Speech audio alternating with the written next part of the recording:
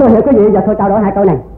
Vậy thì phần trước sáu câu đó, đức thầy cho chúng ta biết rất rõ ràng nếu chúng ta đừng có đeo đắm theo danh lợi. Nghe là lợi danh hai chữ mắt lờ trong mà đừng có trong nhìn nữa. Nếu trong nhìn danh lợi rồi nó nguy lắm. Là vì chúng ta thấy danh lợi nó câu nhủi chúng ta, nó buộc ràng chúng ta.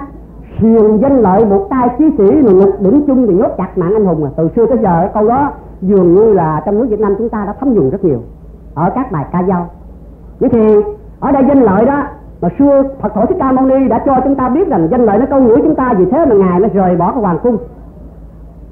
Vua tịnh thản dương mới năn nỉ, ngài nó con ơi, con đừng có đi tu, con ở nhà, con làm vua đi, rồi lớn chút nữa, già chút nữa con sẽ đi tu. Nhưng mà ngài mới 19 tuổi đó, lìa cha già, vợ đẹp, con cưng thân chẳng xa xuông pha bờ bụi. Ngài thở ấy nên 19 tuổi, tâm đại hùng cương với tu trì. Nhất định đi tu tìm chân lý giải thoát mà giải đời, chứ không để danh lợi cám dỗ ngài là đông cung thái tử sẽ làm vua mà. Thì phố hữu tứ hải bốn phương thiếu gì tiền của, mà ngài cũng bỏ đi không cần, cho nên đức thầy cho biết nè. Mình vàng thái tử ngôi còn bỏ, dốc ngọc đông cung tuốt thế liền, xem đó hỏi người mau lập chí tu hành, khá nhớ giữ cho nguyên. Vậy thì, lợi danh chúng ta lò đi, đừng có tranh tới nữa. Mà hát theo lợi danh là nguyên. Thầy cho biết bị danh lợi che lôi tình nghĩa nha mãi tranh giành so sẻ cùng nhau hay bị danh lợi rồi nó hết tình hết nghĩa với nhau. Vì thế mà thầy dạy chúng ta mau chân bước lên long qua hội. Là tắt tắt vậy cho không làm sao hơn được cô bác anh kia mà. Mà hỏi chúng tôi long qua hội vợ đâu à Chà, thiệt là không biết làm sao dám nói cô bác anh chị em ơi. Thầy cho biết thiên cơ nói chúng thì tội nhân mà nói chặt thì lỗi. Mà ở đây thì chúng tôi không biết chứ cái nào biết nói biết cái nào không biết nó không biết. Không biết thầy lập ở đâu? Chứ tôi hiểu gì? Và chừng nào lập cũng không biết nhưng mà độ chừng nhá không đức giêsu đó dám sanh tại âu châu đó thì ngài đã có nói rất rõ rằng là trong hai ngàn năm cái tận diệt thế giới, trong đó có lập hội. Thì Phật thầy thế An tôi biết là trong hai ngàn khử biến phát sơn, biến thiên, biến địa, biến nhân thay đời thì cũng cũng trong hai ngàn năm. Mà bây giờ một ngàn chín trăm bảy mươi bốn rồi, phải không chúng ta? Bảy mươi bốn rồi còn có bao nhiêu năm nữa đâu? Còn có hai chục, hơn hai chục năm nữa. À thì trong hai ngàn năm, bây giờ cũng trong hai ngàn năm rồi. Vậy thì biết đâu ngày mai này lập, biết đâu là một ngàn chín trăm chín mươi chín lập. Chúng ta ráng tu, cô bác anh chị em à ráng tu, gặp hội long hoa. à thưa thầy cho biết là tu hành theo dõi tới mây xanh nha không? Vậy thì bây giờ, xin trao đổi mau đó, chúng ta có mặt hội long qua đó, thầy dạy như thế này nè. Trở chân cho kịp long qua long qua có mặt ấy là hiền nhân. Vậy thì trở chân là trở về với chân chính, bỏ đi tà giải gian tham, đừng làm chữ xảo trá, điêu hoa, đừng thủ đoạn đừng biến trá, đừng mưu mô.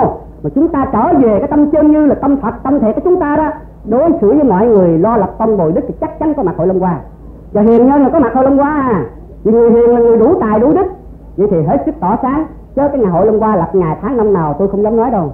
Mau chân bước đến long qua hội. Ai mà muốn có mặt hội long qua ráng làm hiền đức đi à. Trở trên kịp long qua long qua có mặt ấy là hiền nhân. Chầu phật hòa vui cõi đại đồng. Thưa lại có gì ông xuống ngôn này ông nói gì dân chủ rồi hỏi chúng tôi cõi đại đồng là cõi nào? Có gì xin thưa với quý vị? Cái cõi đại đồng đó, đại đồng chỉ cho là cái chuyện rộng lớn. Đại đồng có nghĩa là rộng lớn bao la không còn có ranh giới gọi là đại đồng. Mà cái đạo đức thầy chúng ta là đạo đại đồng.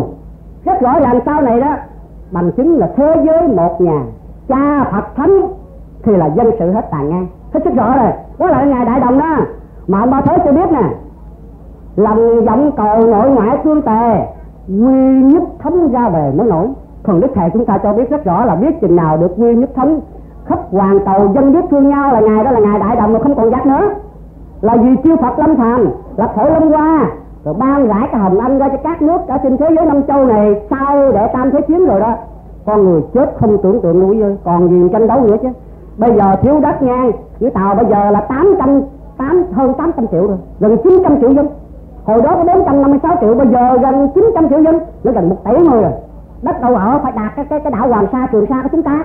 Là tại thiếu đất thì giúp đất con ta ở nhưng mà cái đệ tam thế chiến nổ bùng một cái đi ông thế giới tôi tần hỏi thử các thiếu tá đại quý này coi, trung quý coi đi nha nó chịu mà nó nhận mức cái trên dĩ sách rồi đó nha thôi còn gì nữa quý vị ơi. Cảnh hồng trần tạo biển minh mông mà thầy cho biết rất rõ nhiều đoạn đó nha buổi nhập tiệc trải qua tràn tháo nhưng khói mịt mù, danh sát đầy đường. Thầy nói sát pháo cái thật là sát người đó. Thấy không? Cuộc đời nay như ngựa buông tuôn khó ngừng lại do tu lục bục. Thầy cho biết là cuộc đời nay con ngựa không có tương nữa. Đừng có tranh ai mà nói mà cho nó ngừng, đừng đánh nhau. Đừng có sống, không có được. Nhưng ngựa bốn cương nữa mà.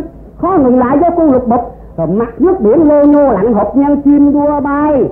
Cá lại tranh nồi. Ngọn thủy triều nô nước sụp sôi, bầu trái đất một phen luân chuyển đọc đó. Chúng ta mai được ông phật, ông hiển bài, trước chúng ta biết hết trơn à. Cái ngày đó là cái ngày đại đồng mà, phật tới trở lại. Khắp lê số biến di thương hải dùng phép màu lập lại thượng ơn. Đó là cái ngày đại đồng đó. Thế giới một nhà mà. Đây, cho chúng tôi nhắc lại một đoạn khác đức thầy cho biết nè. Ngỏ lời khuyên nhân loại khắp gần ta. Gần là ai? Gần là việt nam chúng ta đây. Xa là các nước trên toàn cầu hiện nay, từ nhựa tiểu tới cường quốc tới siêu cường quốc. Ráng tu tận hưởng đời chung cực lạc. Ráng tu mới được à. Sao có đệ tam thế chiến ra đời không tu tiêu hết, không còn sát hồn, không còn đâu. Ráng tu tận hưởng đời chung cực lạc trên cõi phật mùi hương thơm bát ngát, dưới quân thành phụ tử khải hoàng ca, ấy là sông bốn biển hiệp một nhà, không ganh ghét giúp cầu thù hận quán, đó là cái ngày đức thầy chúng ta làm cái việc đại đồng.